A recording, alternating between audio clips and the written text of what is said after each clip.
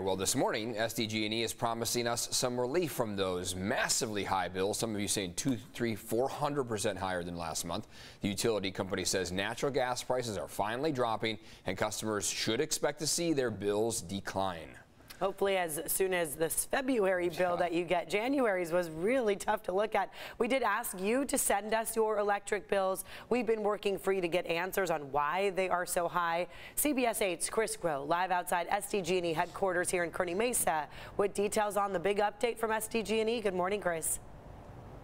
Yeah, good morning, Eric and Neda. And look, a lot of people are going to be very excited to hear that their February bill is going to be a lot lower. And even then, moving forward, March, April, and May likely to be lower as well, too. And that's good news because the price of natural gas is going down. But some people are wondering, how much is it really going down? Take a listen. I think it's welcome news. The gas rate for our San Diego Gas and Electric customers went from $5.11 in January to $2.77 in February. And so you're hearing the per unit price there from that SDG&E spokesperson, but in other terms, it's going down 68%, which again, another way of saying it's going down a lot.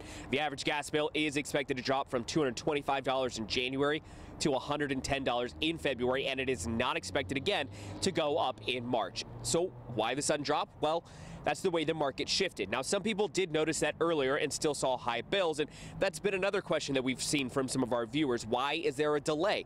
Well, SDG&E explains that they purchase in windows of time, so consumers may not see that price drop right away. Essentially, there's a little bit of a delay.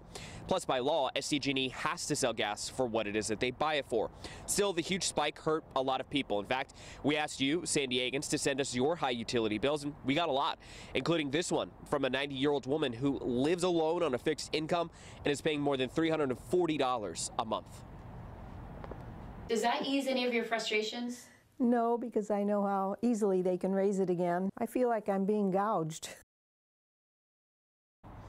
And if you go on your phone to CBS8.com or even the app, you can find that there are some resources for those who are having trouble paying their bills, both with SDG&E and even with the state.